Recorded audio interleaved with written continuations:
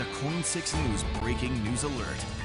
And our breaking news an Amber Alert tonight. A Montana girl may be headed to southwest Washington. 11 year old girl named Adriana Correa was seen this morning getting into a red 1995 Camry with unknown Washington plates. She is believed to be with her non custodial parents, Justin Taylor and Amanda Correa. Uh, we asked where in southwest Washington they might be headed, but officials say they're not even for sure.